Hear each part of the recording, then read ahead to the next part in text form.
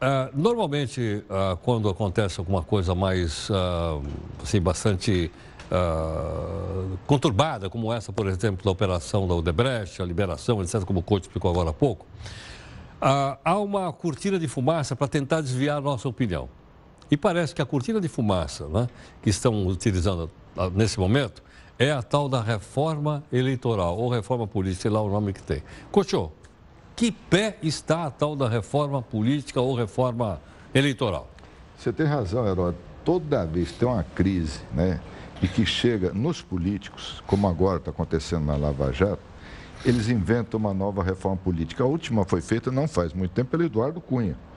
Né? Quando se fechou o cerco em cima dele, também fez uma reforma política, a gente nem lembra o que, que mudaram e tal.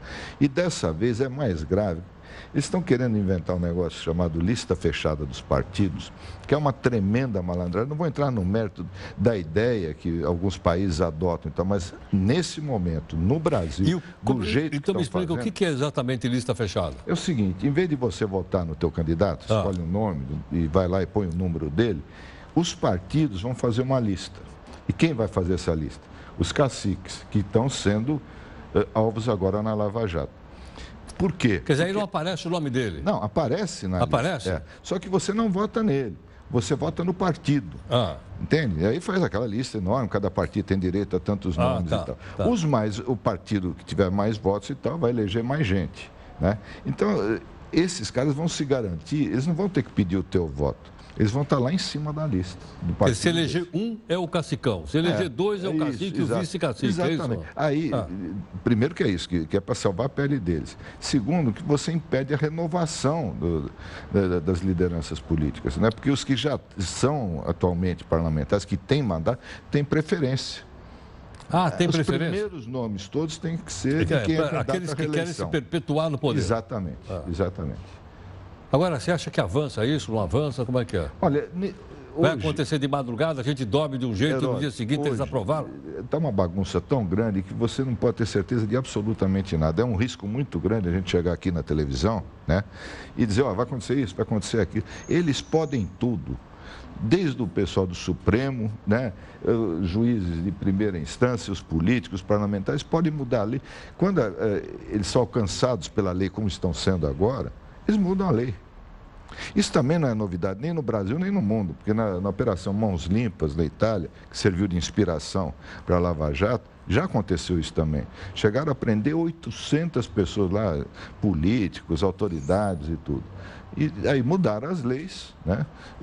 Acabou tudo em pizza, ainda mais na Itália. Né? E isso, e, em Canelone, lá terminou tudo em Canelone. É, não, e aí terminou no Berlusconi. Em Berlusconi? Berlusconi. Né? É isso que, que, provavelmente vai acontecer aqui também.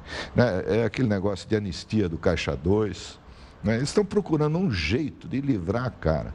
Aí você pergunta, mas eles são capazes? Eles são. Já mostraram outras vezes. O problema é que isso aí, reforma política, é palhaçada. É uma reforma política para salvar os políticos, não é para melhorar o sistema eleitoral, para melhorar a democracia brasileira, para facilitar a nossa participação. É o contrário. Agora, continua em São Paulo, está marcada uma manifestação para domingo. É. Né? Que está voltada exatamente pela questão da Lava Jato, essas é, coisas. Também, quer dizer, é, é, é, em defesa da Lava Jato, contra a corrupção, mas tem uma diferença fundamental em relação à manifestação da semana passada, organizada pela CUT, pelos movimentos sociais. Eles defendem a reforma da Previdência. Né? Defende a reforma. Def, a CUT a reforma é contrária. É contrária. Aliás, o, o, o secretário-geral da CUT veio participar conosco aqui de uma série de debates uhum. que a gente está fazendo aqui 8 horas da noite, chamado uhum. Ponto a Ponto da Reforma, uhum. e ele veio várias vezes aqui defender uhum. a posição da CUT. Pois é, a, a CUT faz manifestações contra a reforma da Previdência. Né? E essa de domingo agora é dos mesmos movimentos que apoiaram o impeachment da Dilma no ano passado. Né? O movimento Vem para a Rua, Brasil Livre, são os mesmos líderes. Né? Dessa vez não é contra o governo, ao contrário, é a favor das reformas da Previdência, a reforma trabalhista. E vamos ver. Agora, Coutinho, uma manifestação dessa deixa os políticos preocupados ou eles, eles não dormem? Eles não vão fazer o churrasco de final de semana porque Olha, vai ter manifestação? Eu... Ou os caras simplesmente não estão nem aí?